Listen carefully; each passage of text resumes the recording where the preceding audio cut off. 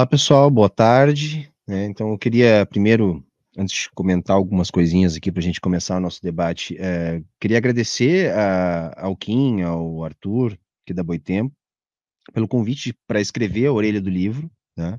Então, fiquei muito feliz de ser lembrado, porque o Harvey é uma das minhas referências, como eu escrevi na orelha, é, você pode suscitar muitos debates a partir da interpretação né, da obra marxiana que o Harvey faz, mas você não pode negar a fundamental contribuição dele para o debate. Né? Então, é, é incontornável. Acho que todo mundo que quer entender a economia política né, a partir do viés marxista no século XXI, é, tem que, de alguma maneira, passar pelo Harvey. Né? Então, isso é muito importante. Então, eu fiquei muito feliz de poder também estar tá fazendo esse debate, colaborar, ajudar a divulgar o texto, porque o texto é muito bacana. Né? Eu estava aqui muito empolgado de poder trocar uma ideia com a professora Leda, né, que é uma das minhas referências aqui quando a gente vai falar em, em economia política, contabilidade social, enfim, é, é, seria um grande prazer, mas é uma pena que ela não pôde estar tá aqui com a gente. A gente vai tentar fazer um debate aqui é, significativo porque, veja, eh, esse texto, como o próprio Arthur falou ali no início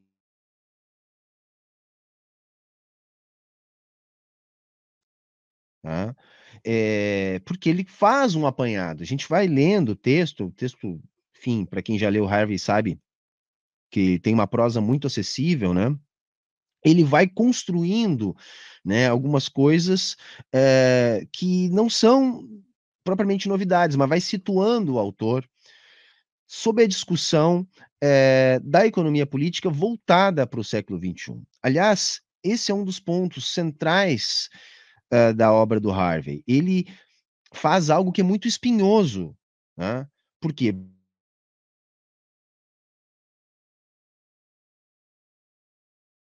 Jovem, né, um capitalismo bem formado, não era mais aquele capitalismo nascente que a gente via, por exemplo, na obra do Adam Smith, né, é, onde ainda se imaginava que os problemas da sociedade do capital seriam produto do parto dessa nova sociedade, né, e que depois as coisas tenderiam a ficar melhor para todo mundo. Então, não, mesmo que não fosse mais esse momento inicial, quando Marx estava escrevendo, é, mesmo sendo já um capitalismo maduro, ele era um, um digamos assim, um adulto jovem. Né? E hoje, no século XXI, há um debate muito grande sobre a validade do que Marx e Engels escreveram a respeito da crítica da economia política, em função das mudanças que a gente tem na dinâmica do capital. E para nós, marxistas, é, parece bastante evidente que as estruturas do capitalismo seguem as mesmas. O que a gente tem agora é um aprofundamento das dinâmicas do capital que já estavam lá identificadas por Marx.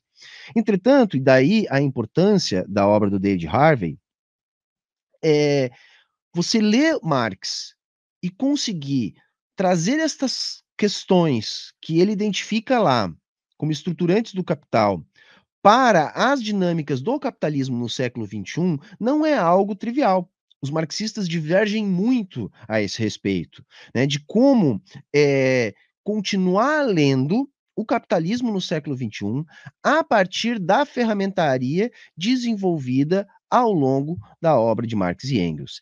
E o,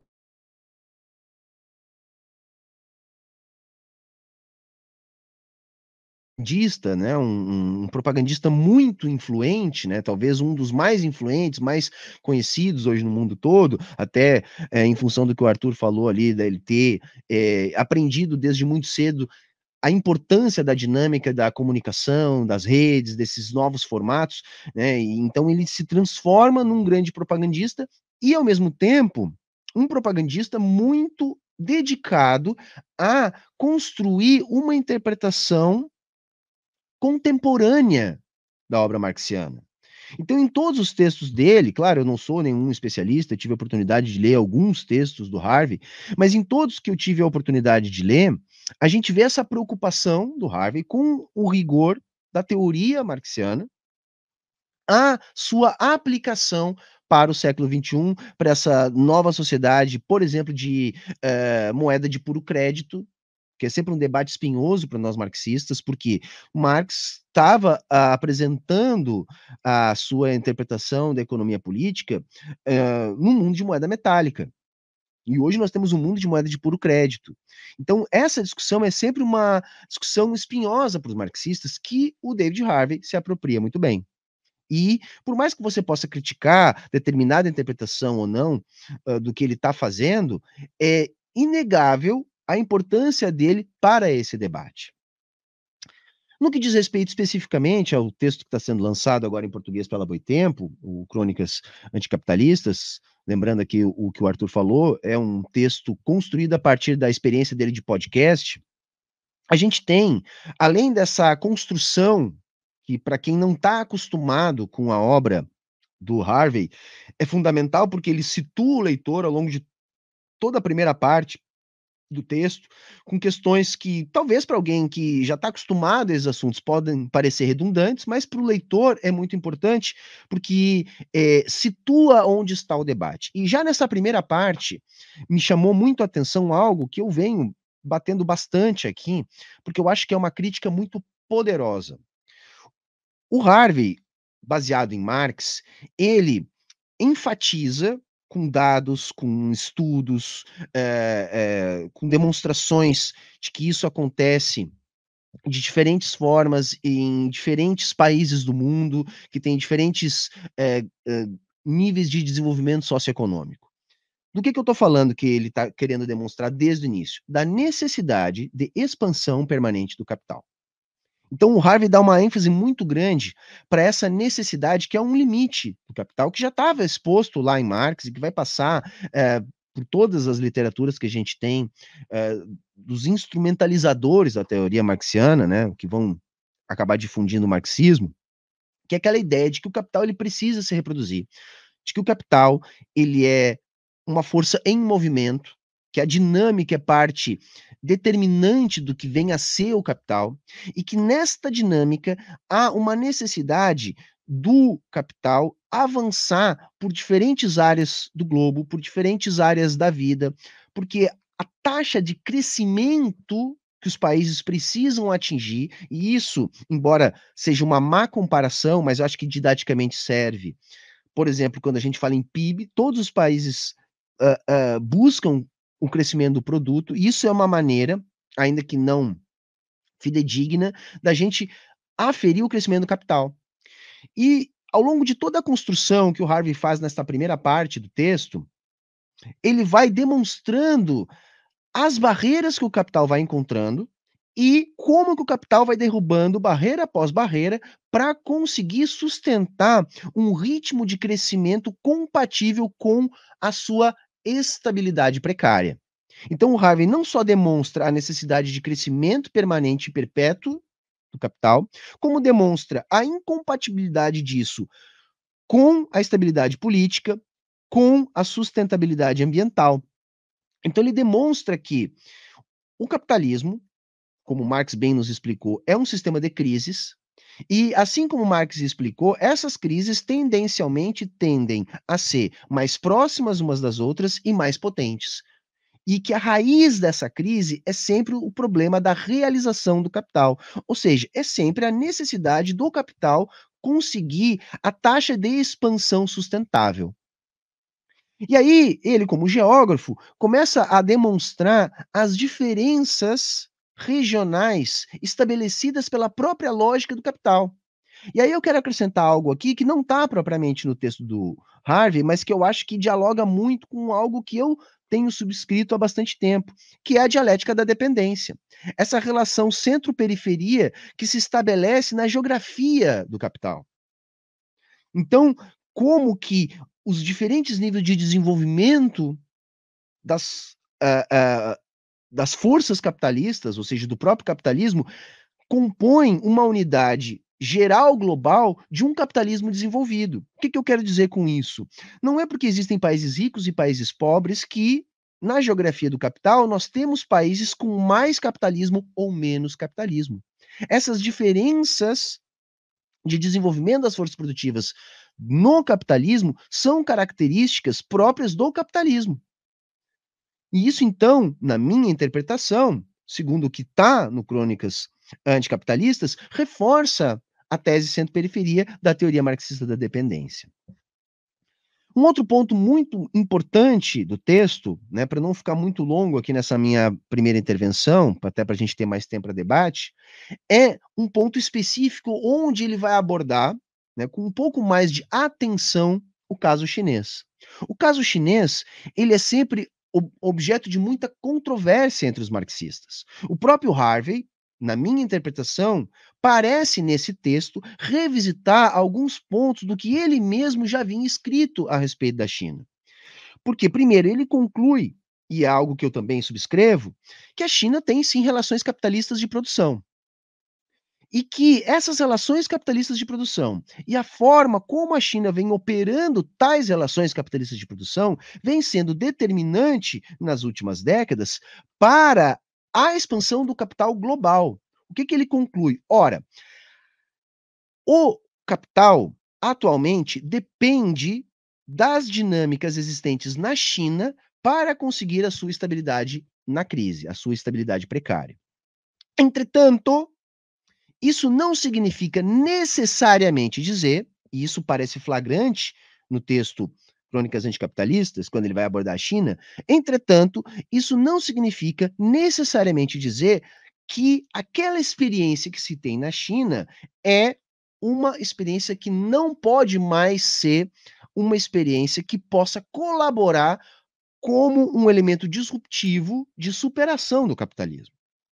Então, nesse sentido, o que me parece ali, naquela parte específica do texto, é que o Harvey pode ser utilizado para estabelecer um diálogo com um autor nosso aqui, que também é um autor que já publicou aqui com a casa, que é o Elias Jabur. Quando Elias aborda a China dizendo que pode se tratar, e é a tese que ele defende, de uma nova forma social. O Harvey não diz isso, são coisas que eu estou aqui trazendo para o debate para que a gente possa uh, apimentar mais esse debate. Mas o que o Harvey está dizendo é o seguinte: olha, é, há na China relações capitalistas de produção. Entretanto, as relações políticas elas não são similares às relações políticas do mundo capitalista. Isso vocês vão encontrar no texto.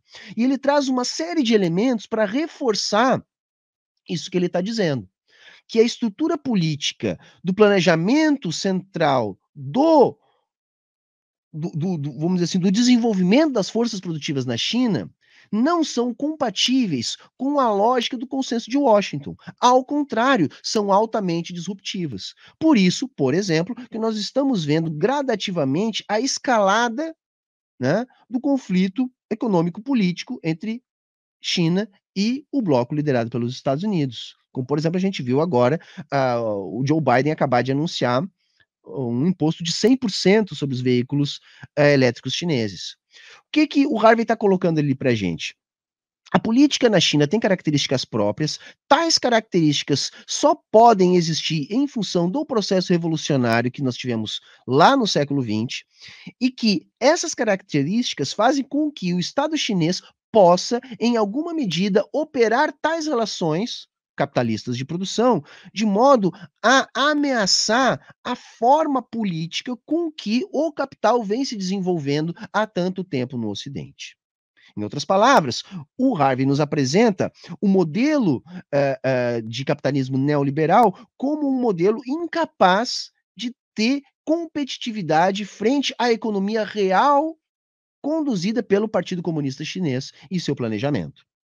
De modo que ele demonstra que o crescimento da economia no Ocidente, que é necessário para atender a demanda de expansão exponencial e infinita do capital, vem se concentrando nos mercados de ações, com alavancagens, com formação de bolhas financeiras, enfim, absolutamente diferente do que se vê na China, que, segundo o que o Harvey apresenta no texto para gente, é uma economia muito mais voltada à produção de valores. Ainda que isso seja um objeto estranho dentro da própria lógica capitalista global. Por quê? Porque além de estabelecer uma posição contra-hegemônica em relação ao capitalismo central, porque a gente tem que lembrar que a China, embora seja uh, um país que cresce muito, que possa inclusive ultrapassar em termos de produtos os Estados Unidos, a China ainda não é um país rico. Né? A China não é um país rico. Então, ela tem uma inserção nesse é, grande capital global ainda como um capital de segunda grandeza. Porém, hoje, isso está em vias de ser violentamente transformado. Então, esse texto ele me pareceu muito bom, tá?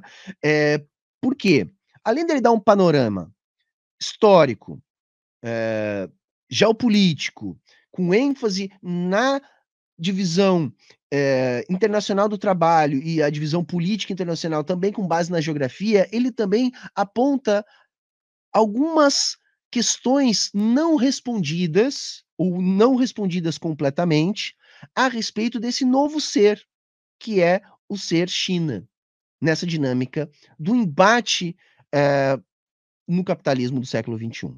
Então eu classifico o texto como um texto fundamental é, mesmo que seja para você estabelecer uma crítica, é interessante conhecer a perspectiva e o debate que o Harvey está produzindo nesse, nesse texto. E também me parece interessante ele começar a também entender que a China pode estar tá construindo uma nova forma social, algo que a gente precisa ter um pouco mais de atenção, até porque isso pode ainda estar em disputa. Além também de é, dar caminhos que a gente possa utilizar para sustentar, né, a partir de um outro arcabouço teórico, a uh, divisão do mundo entre centro e periferia e a dinâmica uh, da dialética da dependência. Então, espero que a gente possa aproveitar o texto vocês leiam o texto, né? Eu gostei muito do texto, sobretudo a parte mais do final. No início parece ser um pouco redundante para quem já está bastante apropriado desses debates, mas como eu disse, é fundamental. Uh, mas, sobretudo, a parte final ali ele traz provocações que eu acho que para todo marxista é fundamental. Mesmo para aquele que é crítico do Harvey, eu acho que também é fundamental. Então, espero que vocês leiam, espero que vocês gostem e que a gente possa fazer um bom debate.